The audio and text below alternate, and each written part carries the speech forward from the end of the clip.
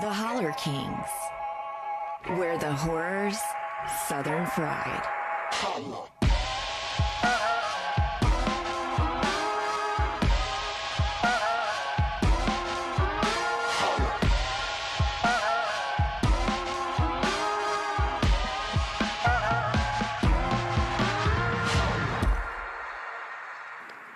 Hello, it's me, Craig, And it's me, Adam. And we're the Holler Kings. The motherfucking Holler Kings. It's true.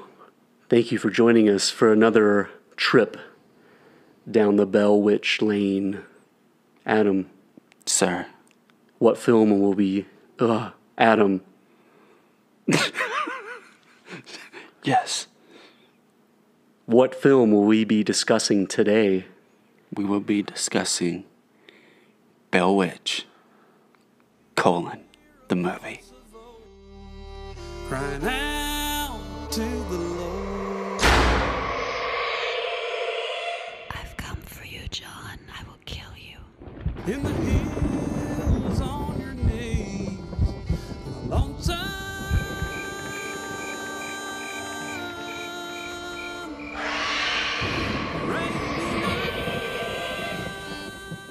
It's true. This is one you brought to the table. Yes. As with all of them that we've been discussing this month for spooky For season. better or worse, I brought them all to you. yes, for better or worse. Uh, that's kind of weird. I feel like you emphasize the worse a little bit. So the next two movies that we're discussing in this series, uh, I have to kind of apologize to the listeners because they'll be a little tough to find. Yes. They're almost regional movies uh, that probably very few people outside of Tennessee have seen. Uh, probably few people outside of the production team and cast have seen. but that's okay. I mean, we're we're zeroing in on our lane, which Hey, is this is a Bell Witch, so we Yeah, got to be honest to it. it's Bell Witch, and you know we're a podcast about Southern horror, so you can't get much more Southern than this. Yeah. But uh, how can people attempt to find this movie? This is Bell Witch colon the movie from 2007. Yes. I know we may have talked about it on the last episode that uh, Vim, Vi- Vimeo, V-I-M-E-O. Yeah. Uh, I know you can buy or rent it on there. And that's honestly, I think, that's honestly, I think the only place really that I know of that you can find it. Yeah. It may be, I don't think it's streaming on any other services, even to rent or buy. I, I guess we won't really talk about this a really long time, just Mm-hmm. because it is probably so hard to find and everything. So it'll Yeah. be a little bit off the beaten path. Tell me your experience with Bell Witch colon the movie. Not not much. Uh, you know, this is this is just one that I came across. I don't even recall exactly how. I mean, this was what two thousand seven ish, nine ish, somewhere in that era, and it had to have been one that I just uh, discovered. That in, at this time period, I was really into finding like indie movies. I really loved the idea of direct source filmmaker to fan hand. Like I order it direct from them and they give it to me and I can watch it. I really love the idea of that. I still love the idea of that, but I don't I don't follow it as implicitly as I did at this time. I was really ravenous for it, and so I was always on the hunt trying to find movies uh, like independent, no budget movies to uh, you know seek out, buy, uh, and watch. So it had been from that source, just trying to search it out, and came across it at some point. Uh, so you've had you have a physical copy of this, I do, correct? yes, yeah. From, from the era basically it came out. Yeah, yeah. How'd you feel when you when you watched this film? When I rewatched it this time, uh, No, no, the first time. You do you remember young Adam watching this film? I remember. I remember just kind of being like on middle ground with it. Yeah. Where I was just like, oh, okay, that was that was fine. Right. You know, it was all right. I didn't absolutely love it, but I didn't hate it or anything. Because again, this was around the era of like when American Haunting came out.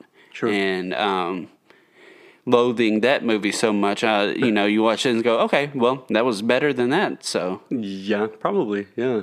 yeah. Uh, how about now when you revisited it uh, as a full fledged adult? Um, I have a little bit more notes, but uh, I still kind of feel moderately the same. I Yeah. feel, especially at it, kind of benefited us that we're doing this the third one because you know, in the context of having seen American Haunting and Bell Witch twenty thirteen, Bell Witch Haunting twenty thirteen, this is light years better than them. I, w- I, w- I think so.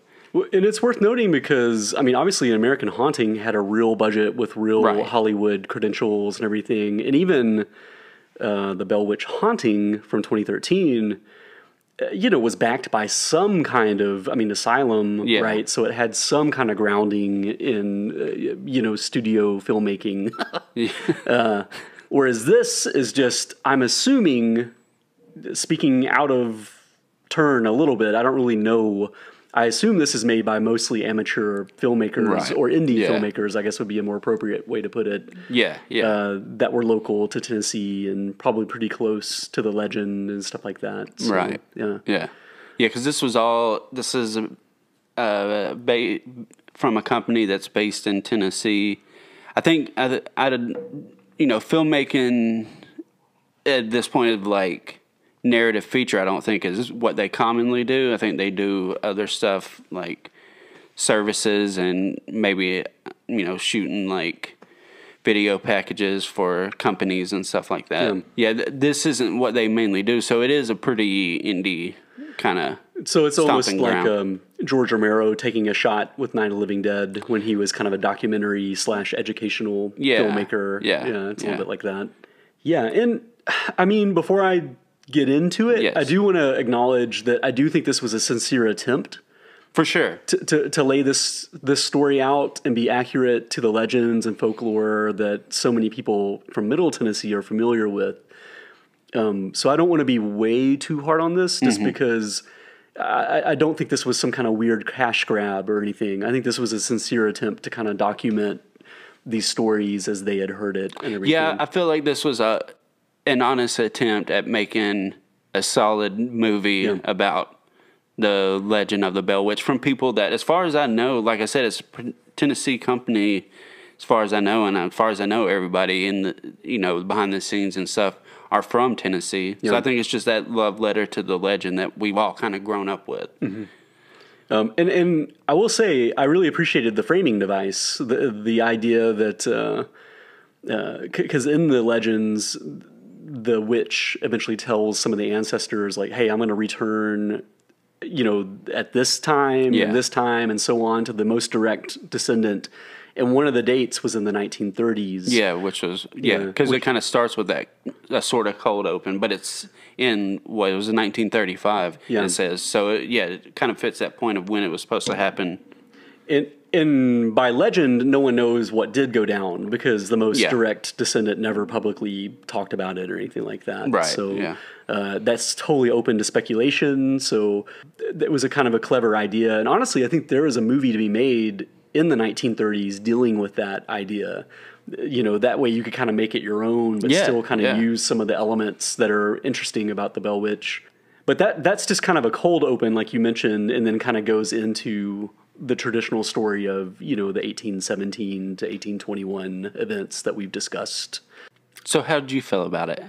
Uh, I mean, obviously, I had a lot of problems with, like, it's obvious they had a little bit of money to spend on this thing, right? Yeah, it looks like. I mean, again, from it being a video production company, I guess they do keep up with the you know technology as it advances. So they did have like HD cameras and all that, and because this had to kind of be that forefront of when that was really becoming popularized, especially on like a prosumer or like an indie level. Yeah. So Well, and, and it's some of that is on screen because I feel like the costumes, the costumes and the vehicles that they use, they're good, but it's clear that they couldn't do whatever they wanted to with them. Yeah. Because it, it's all pristine. Like the car that they're driving in the opening 1930s scene, it is gleaming. It's obviously a collector's car or whatever. They couldn't do anything to kind of like make it look like a lived-in vehicle. Right. That always that stuff always really jumps out to me, um, especially because these are supposed to be like regular dudes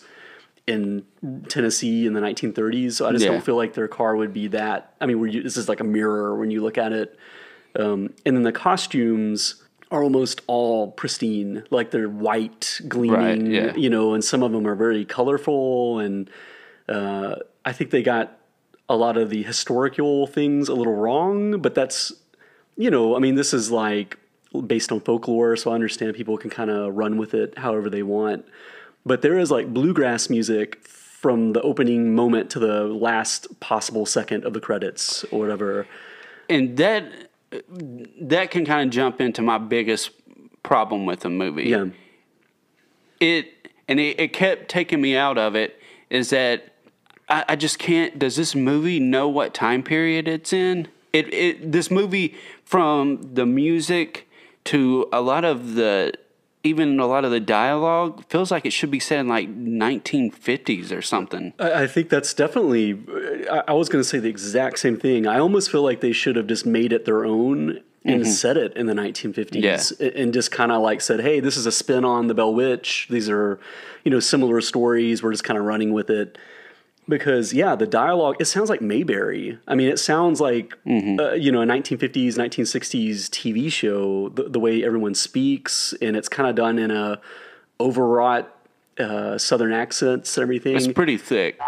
honestly, sometimes we're the worst offenders of this uh, because it's probably somewhat authentic but amplified because they're on camera. So it's people kind of like, Yeah. I feel like shucking and jiving a little bit because a camera is on them, so they amp up, you know, accents and everything. I, I'm not really convinced that people in the 18 teens, 1820s spoke that way. I wouldn't think they would. You know, that it was like straight up how Southerners spoke in the 1950s in modern era to a certain extent. Bell Farm's up the road a piece. Now, you boys ought not be going up there. I mean, they're one of the opening sequences is like a hoedown that they're having with a band with a band playing. It, I mean- it full on feels like a ho- like it's Yeah. supposed to be like a barn dance or something. and like I, I i'm not a historian. I'm talking out of my ass so please feel free to correct me in the comments. But i, I just don't think i feel like 1817 uh, baptist in rural areas would almost be puritanical. Like i don't feel like they would be having that sort of barnyard dance type of thing especially with that type of music I, I'm pretty confident that that music didn't even exist yet in, that's in what the I way was- that they presented it. Yeah, that's what I was thinking too. Like while watching it, I kind of same thought as you. Like I'm not a historian neither. I don't. I wouldn't even pretend to kind of know that type of stuff, but that that doesn't feel like a, a genre of music that was around yet. There's a movie, Elvis's first movie is called Love Me Tender. It's a Western. Uh-huh. And it's his very first acting role. And even though it's a Western, they feel the need to insert a musical number. So there's a moment where he is like on stage performing for young girls in a Western and he's playing rock music. Like it's an acoustic guitar. It- Yeah. It, theoretically could have happened, but he's doing his exact, he's gyrating, he's doing his whole shtick. I mean, they have Elvis, of course they're going to do it. But that's what this reminded me of sometimes, where it just felt it's like, yeah, it's possible. It's it's possible these things happened, but it is it seems so inauthentic. Bell Witch the Movie. Now you can own them all on the soundtrack from Bell Witch the Movie. This soundtrack has received praise from the country and bluegrass community and has been compared to Oh Brother Where Art Thou. Hear these great songs from Jimbo Whaley and Greenbrier, Valerie Smith and Liberty Pike, the Jeff and Vida Band, the Jeanette Williams Band, Becky Buller, and the Wells Family. A must own, soon to be classic. Well, we're kind of putting this critique on it. I personally, I thought the music was great. I loved all of it. Every every song that they had, because I'm pretty sure it was a lot of like like indie bands and singers from that. Uh, it's like Jimbo and Um, Jimbo Whaley. Yeah, yeah. yeah. Because spoiler, the credits to this movie are like 27 minutes long because it it lists every song because they're all original songs Right. for this film, Yeah. and they're they're shoved into this movie. I mean, like there, there are so many musical sequences. There's music in the background all the time. there's really very rarely a moment where you can just breathe because there's all this crammed music in, Mm-hmm. and it's probably the Elvis parallel. Again, they probably had really talented people making music. And just thought, well, we're using all of this. Yeah. I mean, we're not going to let any of this go to waste. And I kind of sympathize with that impulse, but as a casual viewer, it, it is It, just it, like, hurt, it hurts on, the like- it hurts the movie. yeah, The the music I thought was fantastic. yeah, I agree. but it, it hurts the tone of what the movie should be.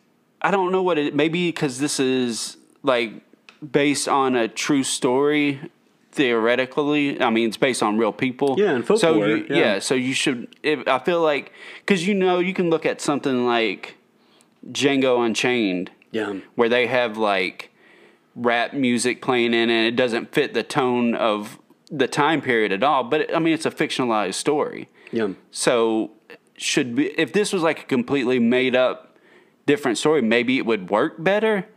But since it's this true legend about you know real people, it feels like it just throws everything off. Well, I think if they had used it sparingly, it could have been fine to, Mm-hmm. to, to have more modern style music. That because because it, it is authentic in terms of it's from the region. Sure, you sure, know what I mean. yeah. So I could almost kind of see you arguing like, oh, we could have some kind of modern music to sort of help tell the story. And, and although sometimes the lyrics were so on the nose that I was a It little was- bit like, it was oh, okay, pretty- it was pretty hardcore. I mean, it was almost like Craig fixes a donut. you know what I mean? It was like very just Yeah. like this is literally what is happening type stuff. But but I think the the the problem is they set the tone of they showed people in the film doing that music. So to me, that threw it all off completely. Maybe Like, that's what it is. you know what I mean? Like as soon as you see real characters playing modern music, every time that modern music is brought back up into the narrative, it almost feels inauthentic, no matter how you use it. Yeah. you know what I mean? Yeah. So I think they set a bad tone, a, de- a bad precedent early on. I, I want to say real quick. It's going to get us off topic just a little bit. Uh-huh. Uh, the biggest hi- historical inaccuracy in this movie, you want to guess? Uh, I haven't. No, I have no idea. There is not one black person in this movie. The Bells Really? owned a shitload of slaves. Yeah, that's everyone in this region that they were friends with probably owned slaves. Bat, Bel- Kate Batts definitely owned slaves. Y- there's not one black face in this movie. Yeah, I think they must have just been like, we don't want to touch that. I mean, and that's that's fair as well. Like they they wanted to tell because they are definitely type- telling their while they're basing it on the legend, they are telling their own version of right, it. right. Right. So, so that's just that's just one thing that kind of popped out to me when, when I was just because we just had a spillage over here. We're, we're always drinking sweet tea on this podcast, so I've only been doing it for 38 years. Do you think I'd have it down by now? but that's just one thing just reading so much about this stuff and then just knowing uh, the main sources of some of this folklore are attributed to enslaved people Yeah. you know what i mean dean especially Yeah. you know so many stories are attributed to him so it's just kind of weird to sidestep that completely i honestly think another talented filmmaker could make a story completely about the slaves in this story Yeah. it's never even been touched. But I mean, Dean has so many interesting stories. I think someone with some real integrity and that wants to tell an original story could take that and make it their own, and it could be a really cool and, and also kind of like, uh, you know. Just an angle no one's touched on any level, uh, let alone the Bell Witch. But I mean, I just don't feel like I've seen a ghost story concerning black people of that era, and, and I feel like that could be just like super terrifying. And uh, you know ghost ghost stories by candlelight I, I think have been kind of neglected lately. You know what i mean? It's all pretty modern stuff or throwback to the 80s you know th- i think there's a good market to try to like recapture those you know candlelight ghost stories again um, anyway i'll get off my Well, no, my I, I podium agree, here. and you could really touch on some topical issues with that too.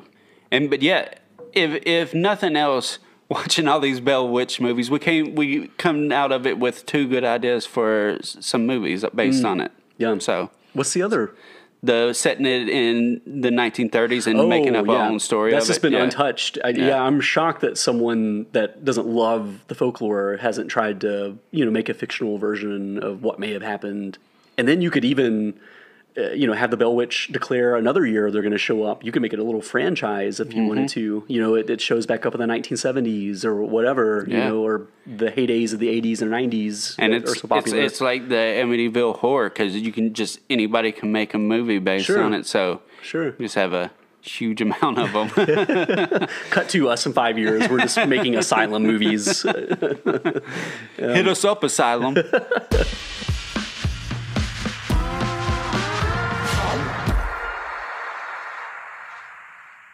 Another thing that j- jumped out to me, John Bell in this movie has like super sculpted uh, facial hair. yeah, I thought it was so hilarious. You could tell he went to the barber the day before for sure. I mean, he has like one of those. It's almost like uh, an R and B singer, like the straight line that he has on his beard line. It's so funny, and I was like, no one wore their their beard like that in that era. And he has like very manicured eyebrows as well that are very metrosexual. And it just, I was like, okay, John Bell is supposed to be pushing seventy.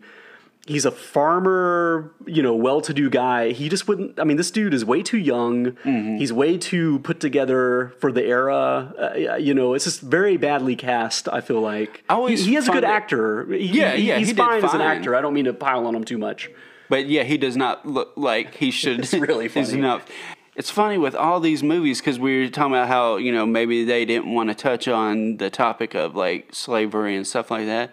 I feel like all these movies so far uh, don't really touch on the age gap between Mm-hmm. Lucy and John because every in all of them they kind of look to be the same age or you know roughly they none of them want to touch on I guess it's just like they don't want to touch it because they all look roughly like they could be around the same age, maybe a few years apart here and there. Well, in in this movie, all the ages are fucked up. I mean, n- For sure. none of the ages are appropriate because Betsy, when Yeah, the, she looks like she's like 18. Sure, she looks like a full grown woman, and she's supposed to be 12 when it all starts. Yeah. Um, and then the boy, Williams, that is kind of framing the story in so many ways, uh, when it started, he was six years old. And they make Mm-hmm. Yeah, it seem like he's a preteen. yeah, he's like like 12 or something. Yeah.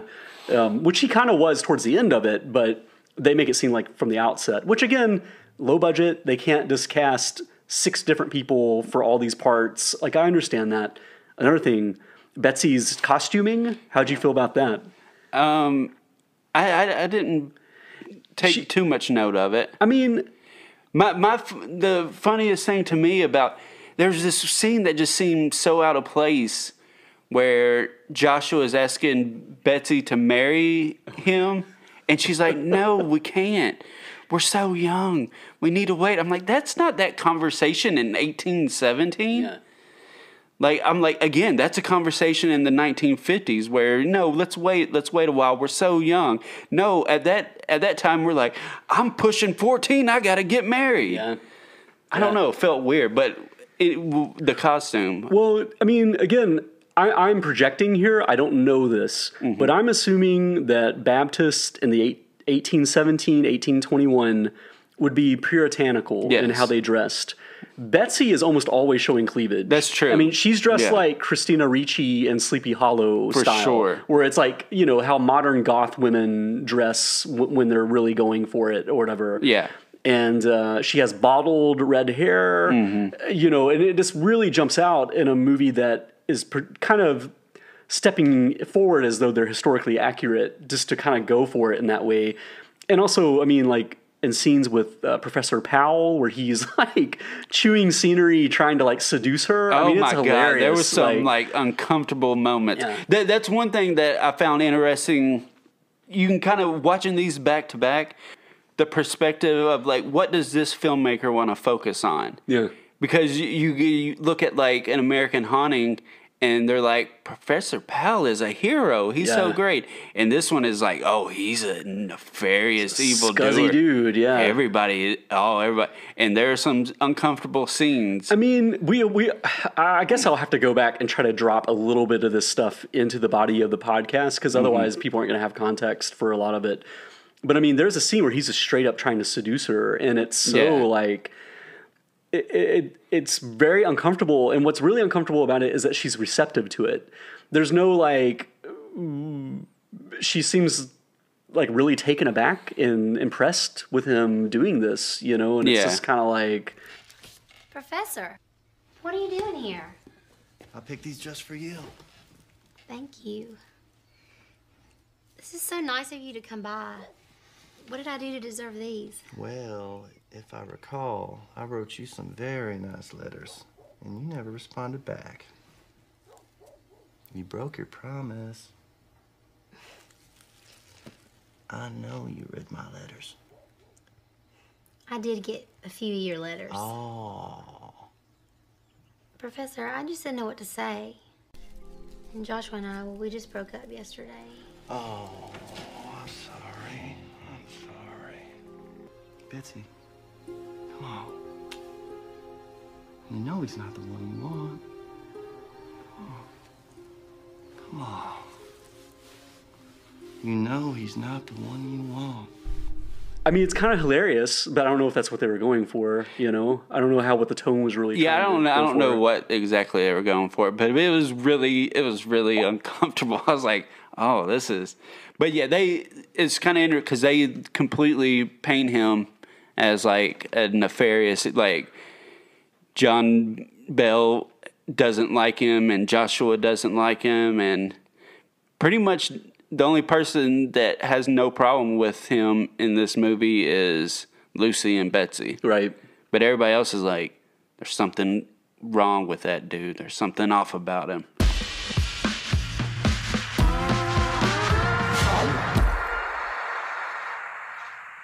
One one other thing I wanted to point out were the transitions. The the the wipes. Yeah. Oh my god. It's like Star Wars. I don't know why. They're, and they do the whole thing with like, uh, it's not just regular wipes. It's like stylized wipes Yeah. where it like uh, you know turns into a circle and zeroes in on someone. Mm-hmm. You know, spotlight style and it's very very, strange. it's very like sitcom yeah. But yeah, this this this has like really strange transitions that again are very jarring because they're very of its era. It's very much so someone that just got new editing software and they're playing around with it. Yeah. And They got that toaster from the '90s, and they're it's like uh, let's use a star wipe. up, yeah. Uh, Star wipe. Everything is a star wipe. You know, it's like that over and over, and it just does not fit a historical you know period piece. one thing we have forgot we have shamefully not pointed out yet is that the one and only Betsy Palmer does the voice of the witch in Fi- this. final screen appearance is Yeah. this film. Yeah. Yeah. Uh, tell us who Betsy Palmer is. For, She is the one and only Pamela Voorhees. Mm. You see, Jason was my son, and today is his birthday. I mean, I forgot that she was in. Well, she's not in it. She does the voice, but I forgot she had a part in this movie until rewatching it. Mm. Uh, how'd you? What'd you think of that? I mean, I could take it or leave it. I, I don't. I feel like she was squandered a little bit. Yeah. You know. I'm kind of like you, middle of the road with. I thought it was fine. I, Yeah. I, I mean, thought she did a fine job and everything. When when I saw her name in the cast, I was hoping she was gonna like be on screen. so that was kind of a bummer. Uh, just it's just her voice, but yeah, I thought it was fine overall. I got a call from my agent, and he said, um, "There's some people want you to do a voiceover in a movie called The Bell Witch," and he said, "You don't want to do that, do you?" And I paused for one second, and I said, "Why wouldn't I want to do it?" And he said, "Well, he said it's a voiceover, and you have to fly to California." And I said, "No," I said, "I do want to do it." One thing I, I did want to mention was, I mean, they, they they go hard for the myths in the folklore. They try to give us pretty much every highlight that is in Ingram's book, like the classic source of so many of these stories. Yeah, um, and they just do it step by step. I mean, they almost do it chronological order. So I mean, and- and that part of it was well done, but it almost illustrates why this is such a hard movie to make. Yeah. because the stories are so they're almost esoteric. Sometimes they're not related. There's never an official source of what the Bell Witch is. So they're just kind of throwing it all out there and letting you, as a viewer, kind of piece it together, I guess, or just kind of take it or leave it. You know, Right. one thing I thought was really funny were the moments where it, it showed the weird creatures that they were hunting or whatever. Yeah. Because they were just real world animals that uh, the people of that era wouldn't be familiar with, which I thought was an interesting uh, way to kind of go with it because they probably didn't have the budget to make some kind of weird puppet or CGI creation or whatever. So, I mean, there's the, the first thing that they encounter, which was supposed to be a dog animal with a rabbit head, is just like a real life weird animal that really exists. I forgot what it was. Uh, in the video, we can throw that in. Um, but it's just funny because it like cuts to this animal just kind of frolicking, and then they're all freaking out, taking aim at it and shooting at it, and it cuts back to it, and it's just kind of like hi, like it, it almost looks like that um, that suspicious gopher meme. That thing that's like dun dun dun. Oh, yeah. You know, it almost looks like one of those creatures, but a little bit bigger. So it's like very comical unintentionally. And then there's a buzzard later that they use, or some kind of condor. Or some it's, Mm-hmm. yeah, a, it's some a type of bird like Yeah. that. Really large bird, pretty actually pretty disturbing looking. So that actually kind of worked. That for what they were wingspan was pretty hardcore. yeah. So what did you? How did you feel about the overall haunting of it and their uh, physical manifestation of the witch? Because they, they, they do all these, like they do have like a woman that actually physically plays Mm-hmm. the witch in the movie. They have all these elements of like green light that kind of shines Oh, through yeah. like cracks and crevices that kind of is supposed to be a signifier of the witch. How, how, how'd you feel about that part of it? Well, I mean, it's a little bit hit or miss uh, for the era. I think it kind of worked. Um, the green light, e- even though it's very modern, it at least kind of fits in thematically because one of the images that Betsy sees early on is a girl in a green dress. Yeah. So, so at least there's some kind of thematic, you know, tie-in with it being green light representing the spirit or whatever. The the only thing that that kind of got me with it is nobody ever really sees the green light, or they don't No, they, they don't, don't really comment on it. it. at all. It's probably post Yeah, type I mean, stuff, I guess it's it's just for the audience, I guess. Uh.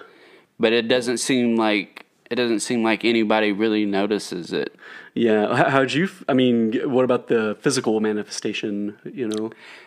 thought it was a little weird. Mm. It almost looked like they were like uh Bride of Frankenstein in her a little bit. Yeah, I can see with that. like the hair and everything and the dress. I don't know. It, again, with with this legend, it just seems sort of unnecessary. With with plenty of other ghost stories, it would it would maybe work a little bit better. Although her look is a little comical with the hair and stuff, but it it just it didn't feel like it fit fit the tone of it really to Yeah. me. No, I agree. I mean, again, just knowing what they were working with, I, I kind of sympathize. But yeah, it did, it did kind of fall flat. Um, I think they would have been better off sticking with the legend, doing a disembodied voice strictly. One thing I meant to mention about Richard Powell's classroom. Did you notice the chalkboard? Yes.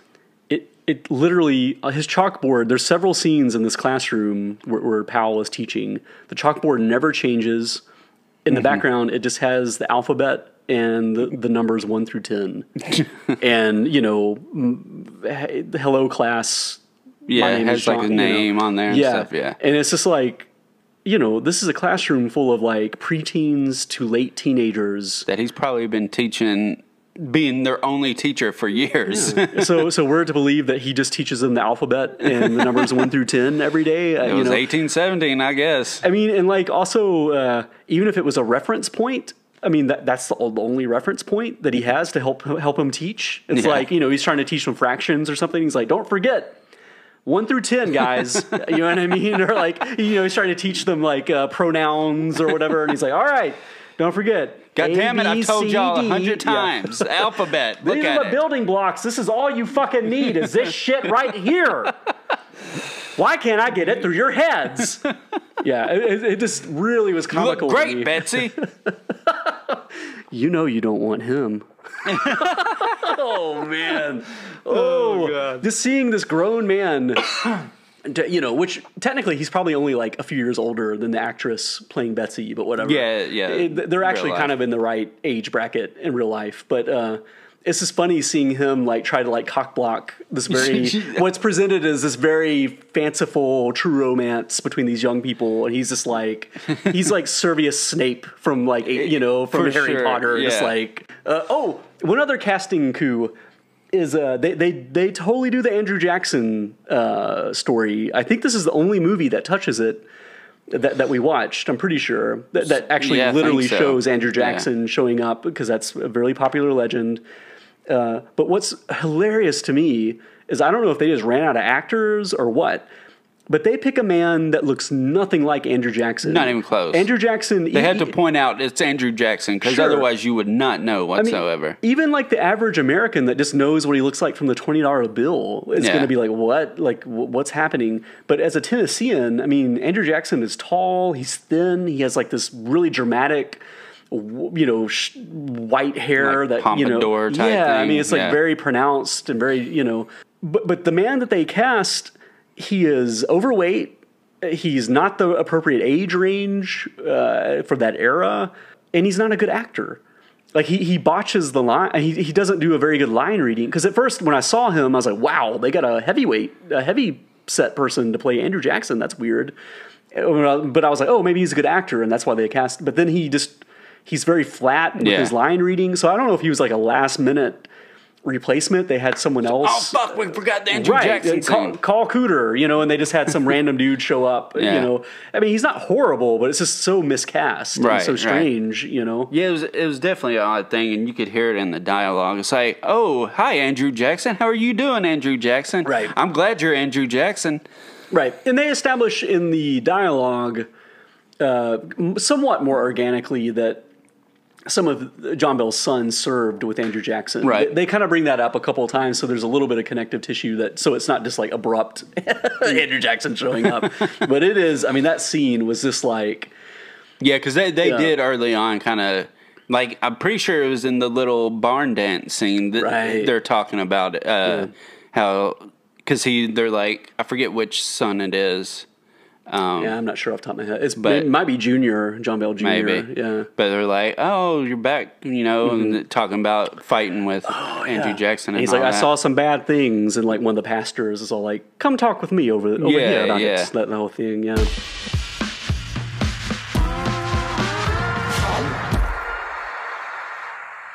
There is one scene that just was hilarious. The Kate Batts of it all. Um, there's one scene where the the witch's um, voice comes into the uh, church and starts um, like raising some hell. And Kate, everybody's like, "Oh, oh God, no!" Oh, and Kate Batts is in there just like just just laughing and Right, like, right. "Oh yeah, Yeah, yeah, yeah. it's like, I, what were they doing? Is it? are uh. they trying to be like it was her all along or something? Well, I, I will. I mean, I think that this movie it doesn't want to make its own decision about what the Bell Witch legend is. Yeah. So it kind of gives you several different options, and you're just supposed to kind of pick one. I guess it's like choose your own fate type of thing. For sure. And I think that's another flaw of the movie. Uh, You have to weigh in. I feel like if you're making a narrative film about this. You have to have some kind of angle to to satisfy a viewer. I mean, uh, you want to tell a story. uh, You know, like this isn't a documentary. This isn't just laying out the legends. It's supposed to tell like a story with a structured story on some level. And I think Yeah. that's where this it's a major fail for, for this film. I Mhm. mean, it just it's almost a series of events. It doesn't really tie in as a story that satisfies. Although they do try to punch out with an interesting ending. Yeah, yeah. Uh, tell us, tell us how they stick the landing on this. um, uh, this Uh, stick the landing. Uh, well, I guess. Which point are you refer? Are you referencing the almost like cold ending or the actual ending to the Bell Witch saga? Oh, I meant the the 1820s Okay, era. yeah, yeah. It does this odd thing where unnecessarily we find that John Bell was buried alive. Yeah, yeah, yeah. That was that was a weird Now- thing to punch out on. He was poisoned, and this is an era where people were buried alive sometimes. For sure.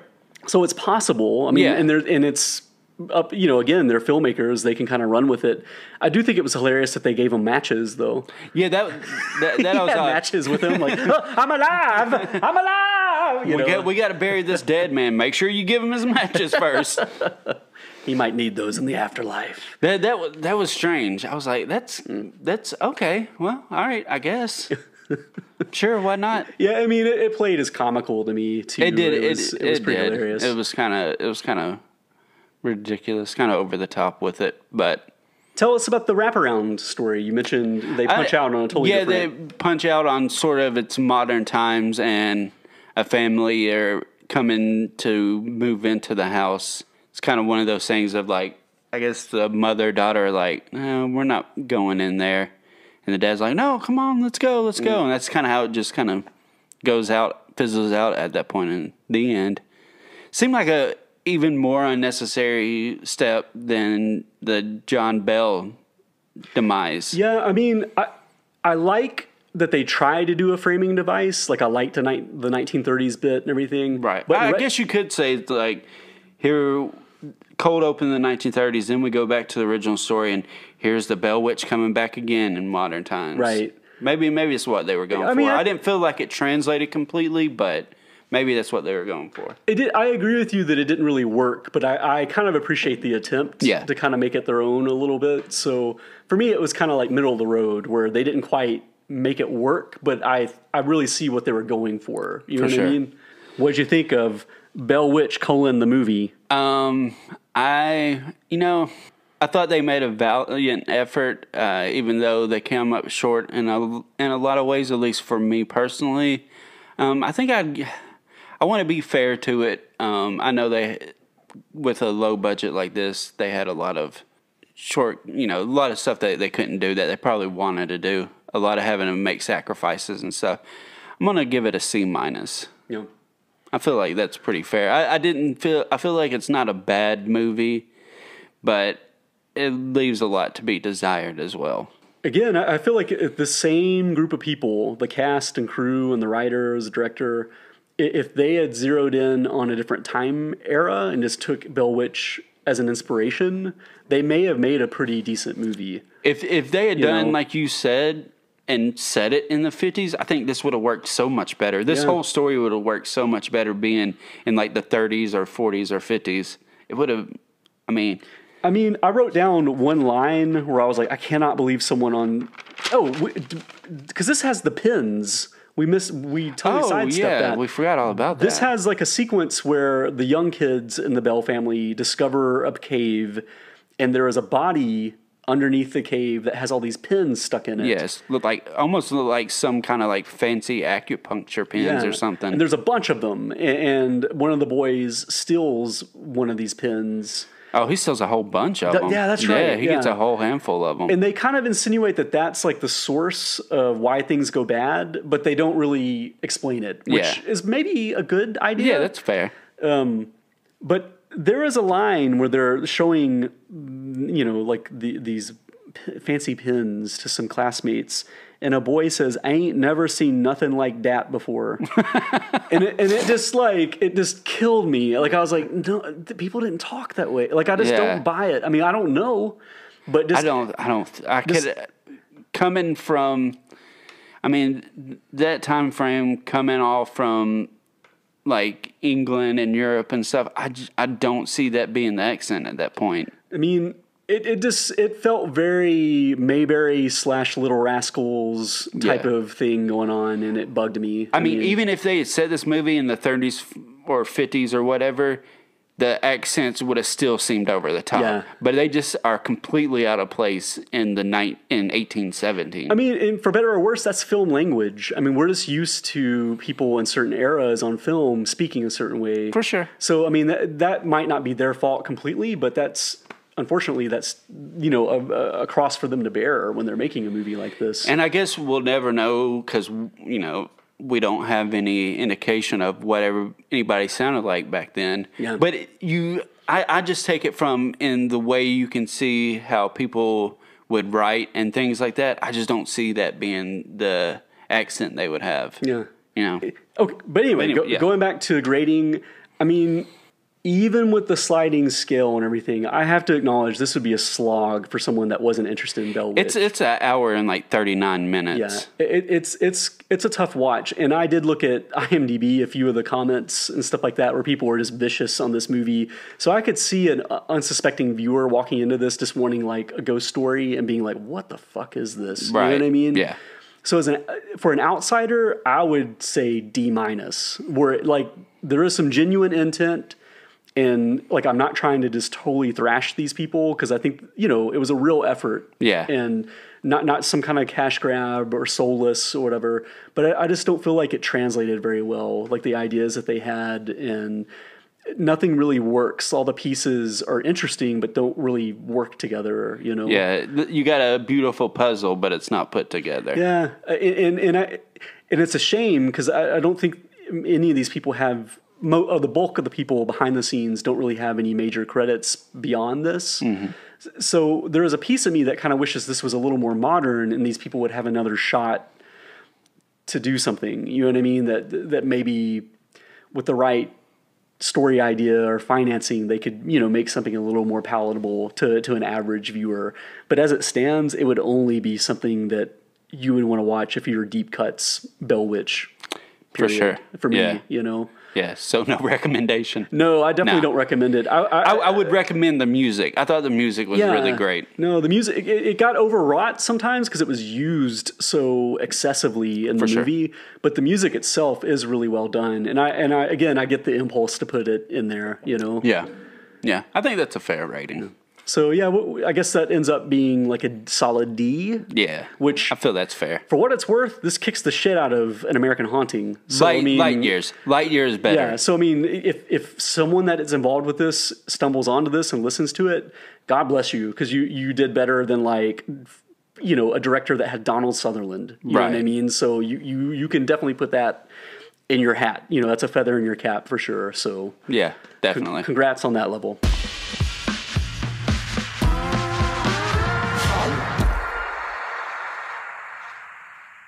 Every episode of the Holler Kings, we do a segment entitled Holler at Your Boys.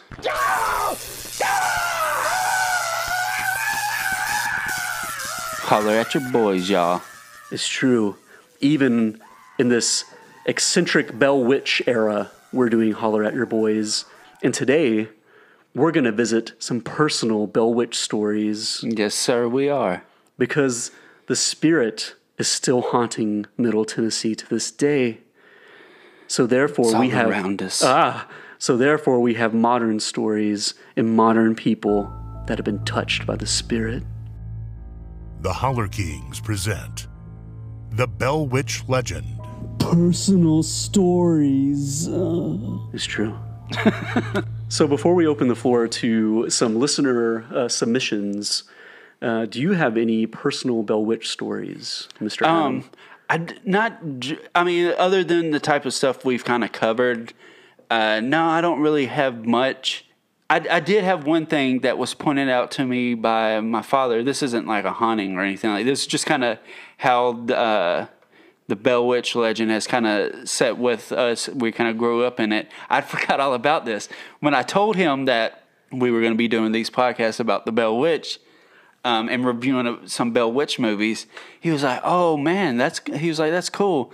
He's like, "You know what you?" Jokingly, he said it, but he's like, "You know what you should do? Y'all should review your movie."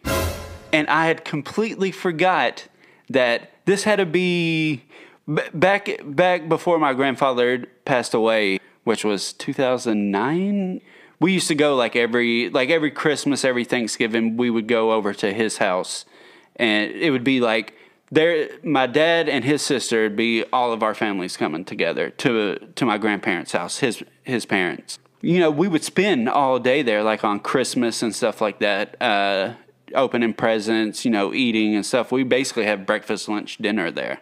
It was me my sister and then my aunt her three kids. So it was it was five of us there. You know we're all young kids so we would get bored and play and stuff like that. And at one point over the years, they ended up getting like a little camera, uh, just like one of those SVHS or something like that cameras, and so we would like record ourselves just doing silly shit, lip syncing songs, doing little sketches, whatever. we would we would just you know do whatever. And one year, this had to have been it had to have been December of '99 because we did a movie called The Bell Witch Project. Ah, So uh, it had, like I said, it had to been '99 because we were inspired. I was inspired by Blair Witch, obviously, to do that. And so, yeah, we did the Bell Witch Project movie, and uh, it was awful. I mean, it's made by children. but, yeah. but yeah, but I had forgot all about it. So yeah, it's kind of just where how that legend kind of is ingrained in us. Like that. That's my first thought is to do the Bell Witch, not do just like a rip off or parody of the Blair Witch, but do the Bell Witch. Mm. I was like, oh man, wow, I forgot all about that. Well, I think that's something worth noting is like in one of the stories that a listener sent is is in this kind of genre where a lot of middle Tennesseans, when you grow up around here, the Bell Witch is almost like part of play. Uh, Mhm. you know what I mean? Like uh, some of the, like the mirror legend where you say the name and the Bell Witch will, you know, appear to you in the mirror. And I mean, it's kind of just built into our DNA for, you know, we just play Yeah. with this idea and everything. So it's just really part of our culture here. Did you have anything else? The only thing I can think of is kind of related to that, where again, you know, everybody around here knows a kid that claimed they summoned the Bell Witch and the Bell Witch attacked them, and Right, you know they have a scar on their face, and you know I had a friend named Chad that claimed uh, the Bell Witch scratched him on the face, and it was a chicken pox scar, but Oh, he yeah. would claim that that was you know from uh, the Bell Witch. That was her, man. But but I mean, I remember the the the mirror story scared the shit out of me, and I would never do it. I would never have the balls to do it. Even the variations, because there's variations where if you say you love the Bell Witch five times in a mirror, she'll appear and just be normal. Yeah. But if you say that you hate the Bell Witch, she would appear in the mirror and attack you. Yeah. Um, but that was so ingrained in me that by the time I saw Candyman, uh, I thought Candyman ripped off the Bell Witch. Right, Like I saw that movie and I was like, oh, they just they ripped off us, you know. And little did I know that obviously Bloody Mary is the uh, originator of the mirror legend. So we, we technically just stole it from another culture anyway. Right. And yeah. kind of made our own. and has no actual relation to the Bell Witch. It was just it's No. our legend. So Yeah. So we just kind we of went with that. uh, married together a couple of things. But I've always been I- fascinated by it. Yeah. Yeah. Before we get on those, I just want to touch on two things real quick. They kind of are related. Did you know there's a band called Bell Witch? I only because I was searching around and I stumbled on it. yeah. I didn't know before. Yeah. Yeah, I, I didn't either. I kind of stumbled on it too, looking around and Mhm. stuff. And I was like, oh, I mean, they're not. They're like a from Seattle. Yeah. Uh, so n- not not southern at all. But it's, it's public domain, so you yeah, know. yeah, yeah, for sure. Um, I listened to one other albums. It's uh, what do they call it? The specific genre is called funeral doom, which I don't know that. what that is. But I mean, the, I like the music. It's very like ambient style. Very. Uh, I don't even know how to describe it. I guess funeral doom is how I Mm. would describe it. So I don't know.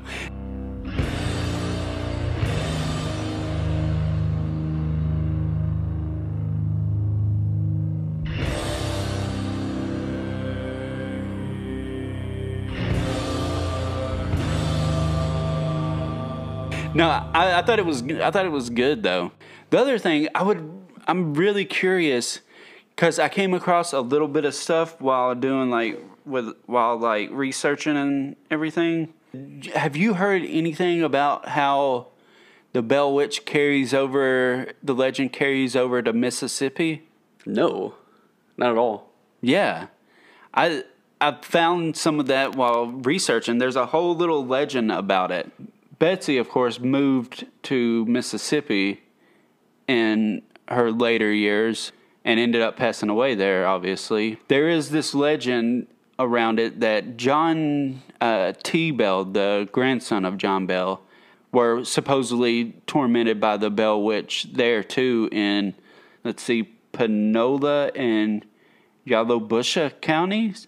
And basically the, the legend is that uh, John T. Bell's daughter Mary fell in love with someone named uh, Gerald and John T. Bell was against this uh, relationship and ended up supposedly killing Gerald. And after that, Mary became like really upset and uh, sick and ended up falling into a sort of like coma, kinda. And after a while, uh, she woke up suddenly, exclaimed that she was going to be with Gerald, and then died. And then supposedly after that, like on while they were taking her body, like the casket, I guess, to uh, bury it, there was like this huge dark bird that was like flying around the like around the carriage that was taking her and stayed flying around until like every last bit of dirt was on the grave and then flew off. And supposedly there's like all like odd little hauntings and things that have happened there so I, I found that interesting i wonder in those areas of mississippi is that legend as prominent as like the bell witch is here to us Sure. Yeah, I, well, and it fits with the mythology too, because Mhm. obviously she's omnipresent. So yeah, Yeah. I thought that was interesting. It was just I, I didn't come across a whole a whole lot about it, but I found that interesting. I was just I, I wonder if kind of they kind of take have the legend as strong as we do, or Hmm. if it's kind of just something maybe some people know, some people don't. it might be like super regional too. Yeah. You know, Yeah, I figured just maybe those specific counties or Right. whatnot, but Huh. I thought that was interesting. Definitely. But that's all I got.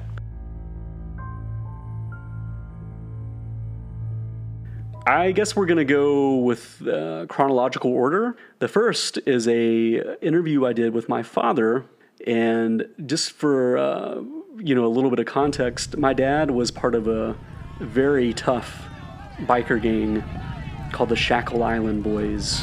Oh shit! In this era, so you, he was a tough dude. Not at all. I'll, I'll drop in some pictures of him. He was just like a fun-loving kid. But uh, he visited the Bell Witch Cave uh, playing hooky as a teenager. Oh, really? Yeah, this would be in the 60s.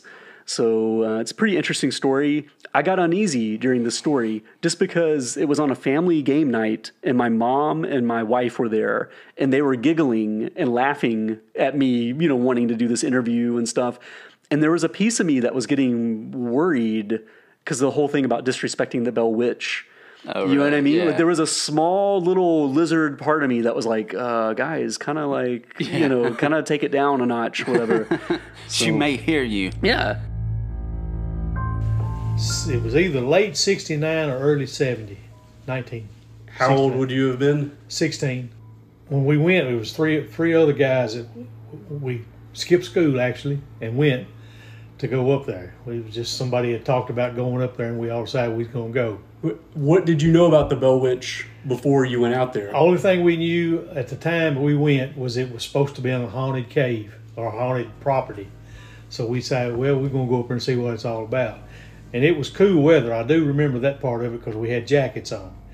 When we went up there, it was owned by a private owner at that time, and we had to see him before we could, you know, go in the cave. He, he wouldn't let anybody in. Just you had to ask permission to go. And he told us about some stuff that went on while he was there. You know, he said it would, you know, sometimes it would be uh, just a brush of wind that would come by, and he would feel like somebody was touching him, you know, on, a, on his face or whatever, you know. And he he had heard rumors that other people had told him that this spirit or whatever had pulled their hair or screamed in their ear, but there wouldn't be anybody around. As far as the cave goes, he said, I don't know if anything has went on in that cave, but that's that's where supposedly they stayed, you know, while they was trying to build the house or whatever the you know the story goes. It's the way he explained it that I remember. You know, he may it may be a little bit different than that. But when we went in the cave, he said, "Now you can go in this cave, but he said I'm not taking any responsibility for whatever happens. You know, whatever goes on, you're on your own." Of course, us being 16 years old, we didn't care. But anyway, when we started going in the cave, and the, when we got back into the cave, and you had to go, it, it started getting smaller. The cave had a pretty good size opening, but as you went in, it went smaller. And he told us when you get to a certain point, you got to get on your belly and crawl a certain amount of length, and, and it opens up bigger as you get back and farther in there. Well, we went back in there so far, and, and we chickened out because the water was starting to get up in the cave, and we was afraid we'd get too far back in there and couldn't get out. Yes, All we had was flashlights at the time. We didn't think to bring a rope or anything like that to get ourselves back out. And matter of fact, I think one of my lights is still in there. My dad got on to me about losing his flashlight. But anyway, uh, one of the guys that was with me, and he swears it happened. I don't know whether it did or not, but he swears it happened. How many of you were there? There's three more guys besides myself. There's Okay. four of us went up there. We were crawling back through there, and we got to where we could kind of stand up a little bit, you know. And uh, the guy, he said he felt something touch him on the back. Now, whether that happened or not, that's just hard to say. But he was scared enough; he's ready to get out of there. He said, "I'm, I'm, I'm coming out. I'm not staying in here." But we stayed up there probably 45 minutes to an hour crawling around in that stuff. Come out of there, just mud all over us, and you know, it's just ridiculous. Now that I think about it, that was the dumbest thing we could have done because if it had come a rain shower or something, it would have probably filled that cave up mm. enough that we could have got caught in there or something. So, but I mean, as far as my experience of, of being scared or nothing, as far as the witch bothering me or anything, none of that ever happened. But I wouldn't do it again. Nobody in your group took anything. You know, you hear stories about people taking a rock or something from the cave. and No, it, no, we were like I said, we were 16 year old kids. We were skipping school. We didn't hmm. we didn't really care about any of the stuff that went on. We just used it as an excuse to go somewhere Sure. when we go when we skipped school. but it was that- that- we shouldn't have done it. I'll put it that way. Yeah. So yeah, my my father's experience going into the cave back when it was not open for tourists. Yeah, that's cool. More like, I, I mean, I, I guess kind of more untouched, more mm-hmm. makes it seem more special. And, and, and I kind of wonder, you know, talking about like us as kids kind of playing around with the myth.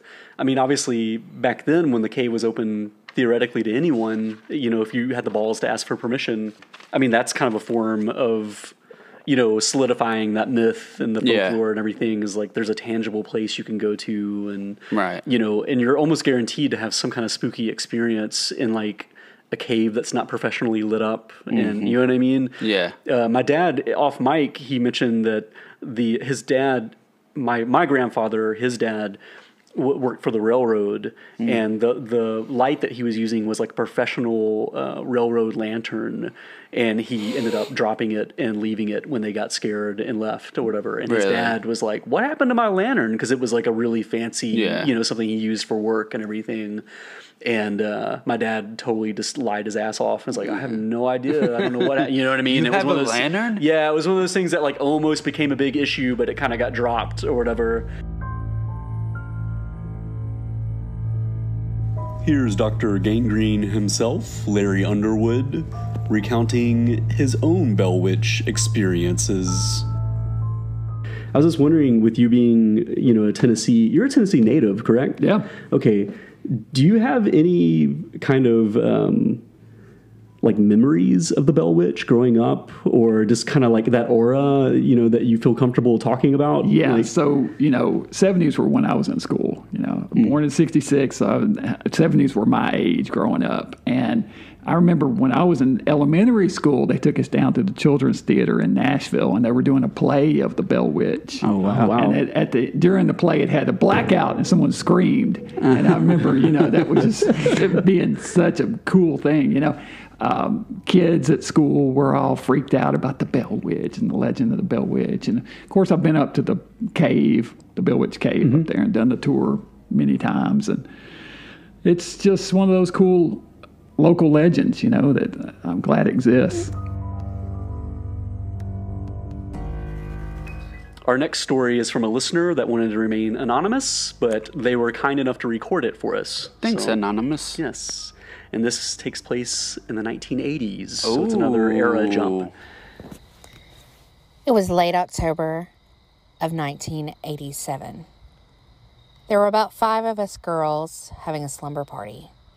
We were doing the usual shenanigans, like playing light as a feather, stiff as a board, when one girl decided that we should go into the bathroom and light some candles and look into the mirror and pledge our allegiance to the Bell Witch. So each girl went in one at a time and looked in the mirror and said, I love the Bell Witch. I love the Bell Witch. I love the Bell Witch. But when it was my turn, I went into the bathroom and I said, I hate the Bell Witch. I hate the Bell Witch. I hate the Bell Witch. Nothing happened that night, but the next night, one of the girls and I went to um, a fall festival at one of the churches. And she and I decided that we were going to sneak into the church while everything was going on outside. And as we entered into the church, the lights started flickering and things started falling off shelves. We had never been so terrified in our entire lives, and we just knew that it was because I told the Bell Witch that I hated her. Actually, I, I really liked the ambience of that, like the crickets in the was, like, background and everything. Yeah, yeah. it felt very like campfirey and like Right. camping and ghost stories around the campfire. That, that was cool. this isn't related, but I'm fascinated. She said it was like 87. Yeah.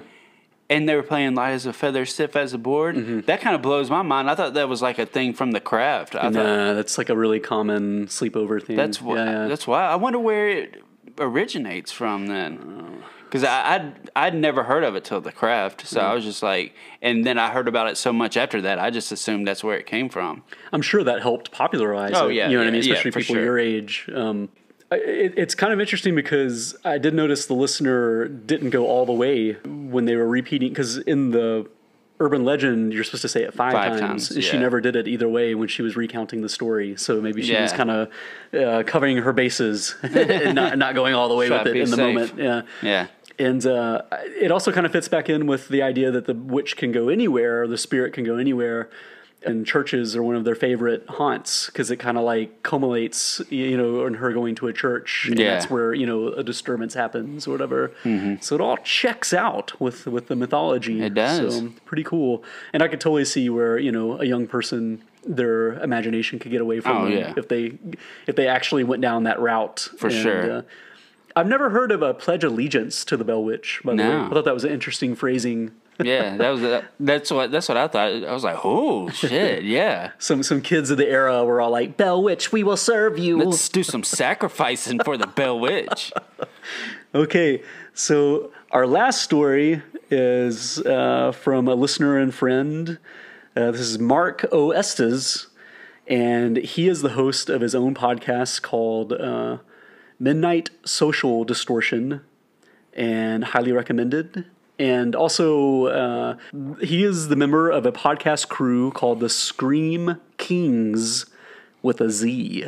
Oh shit! Yeah, it's all true. But uh, he has a story, and it's uh, from the '90s. So we're kinda, Now you you didn't. I don't think did you. I don't think you just mentioned it. Is he from Tennessee? Oh, that's a great point. Uh, yes. Okay. Uh, and what was interesting to me is that he is in Memphis, so it's it's skewed a little bit differently. You know what I mean? Like us in Middle Tennessee, Nashville area, this is like embedded in us. Whereas we're in the w- yeah, yeah. we're in the heart of it. When you go outside of Middle Tennessee, this becomes much more obscure. So it's kind of interesting to hear someone that's still pretty close their experience with it.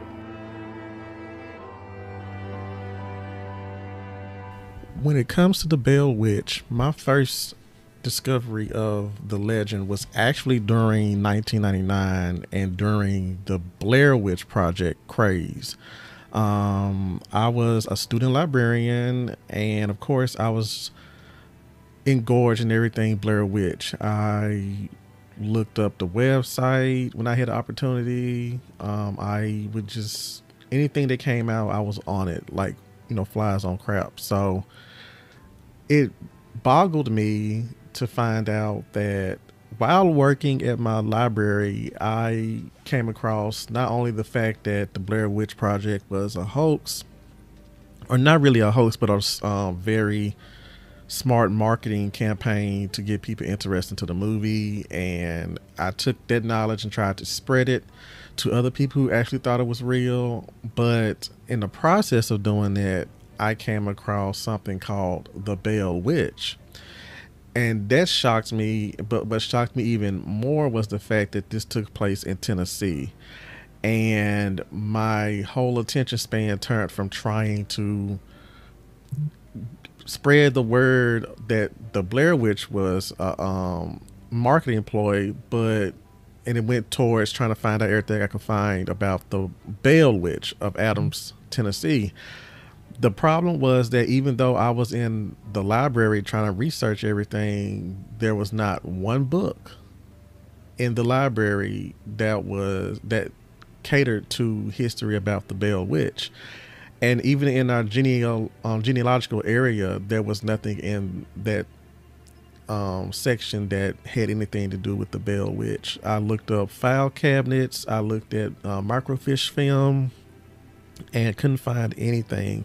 Usually, we would have basically um, uh, an index of sorts to look for stuff of that kind in the genealogical um, area, but it had nothing in there where we can look. And one of the reasons that was was because most of the stuff that they did have was not brought back. It was not. It was either extracted from the genealogical section without knowledge, um, illegally, or whatever books that we had on the subject of the Bell Witch were not brought back.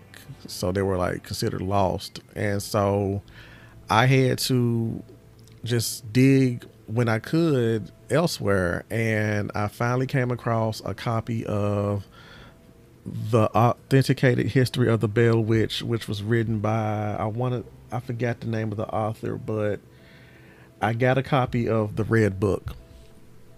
And that's been my way of finding out about the Bell Witch. Um, I did try to procure a copy of An American Haunting, and to be honest with you, I haven't seen it all the way through yet, but it's still chilling to know that Tennessee has a legend of sorts dealing with the Bell Witch.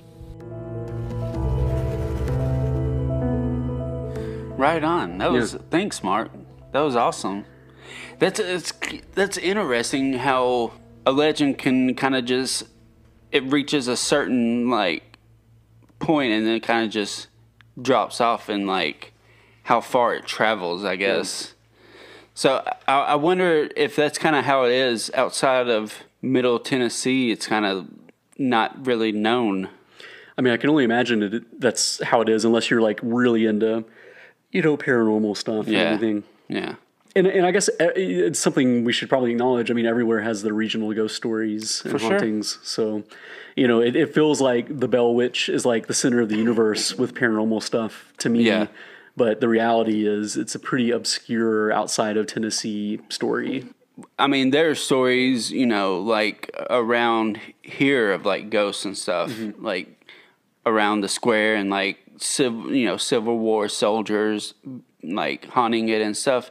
It's just that that this legend is so unique in the way it took place and how everything supposedly happened. It just, it it it heightens that kind of legend and our embr- us embracing it more Yeah. And kind of keeping it alive, I guess. Well, and I think the fact that the Bell Witch doesn't have a direct source, so it's totally open to speculation as to what it is, Right. helps a lot. For like sure. if, it was, if it was a traditional ghost that's like the spirit of a dead person, it wouldn't be nearly as compelling, uh, Yeah. I believe. So uh, that definitely helps augment the story. We wouldn't have four m- movies and countless documentaries, There's a about ton. it. Yeah, that, that's one thing that was really interesting is, is how many people came forward to me saying you get you should watch this documentary, this show, and I was just like I just don't have the time. Like I'm already watching all these movies, reading all these books. I just can't quite. You know, you sent me a couple that that I d- definitely looked at. Yeah. The Zach Adams one. that, that's Um, been the only one I I like kind of skimmed through some other ones. Yeah. that was basically the only one I actually watched. Um, and just because it was Nashville based, I mean, you know, it was Tennessee based from a Tennessee filmmaker. The other ones are like, you know, ones from like Travel Channel and stuff like that. But there, I mean, there's a ton of them out there. we did have a few people slip into the DMs, basically saying, you know, I wish I had a Bell Witch story, uh, you know, that type of thing, and and I don't think they.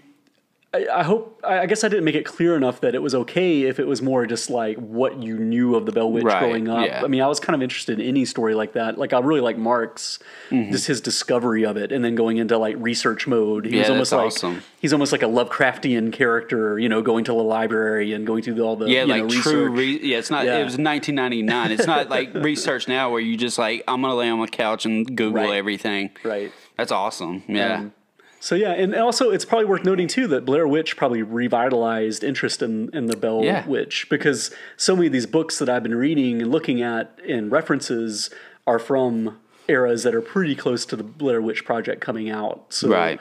yeah, you know what I mean. I think that definitely helped interest peak, and th- they- they actually mentioned the Bell Witch in the Blair Witch Project uh, documentary that they made on Sci-Fi. Right. Yeah, The Curse of the Bell- Blair like, Witch. Which, for those of you that don't remember, it was like a faux mockumentary type of thing, proposing what happened to these kids out in, Yeah. uh, you know, so it was made to look real, but they mentioned specifically the Bell Witch in that show. So Probably, yeah. I think that definitely piqued a lot of people's interest. For sure. And that with birth of the internet and everything. Mm. So yeah, probably confluence of events that really revitalized it.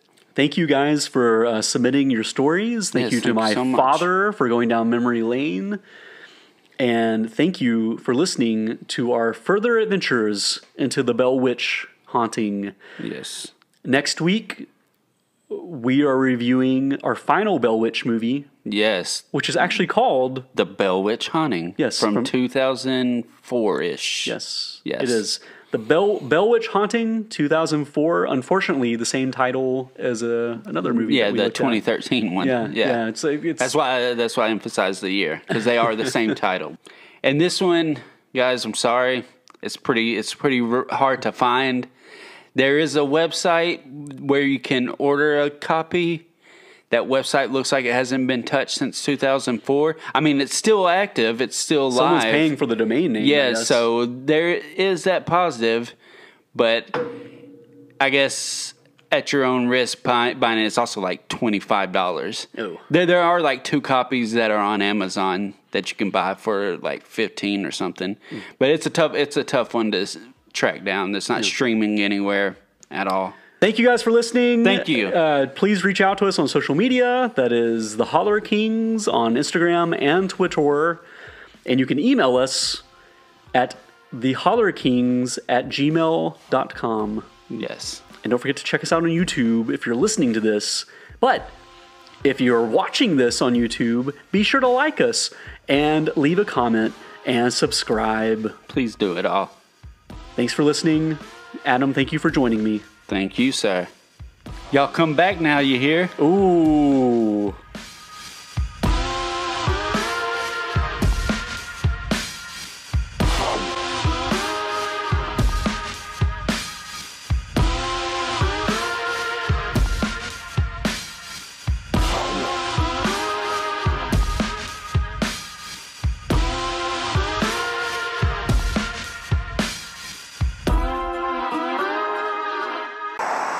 Strike kill me, but I use my karate.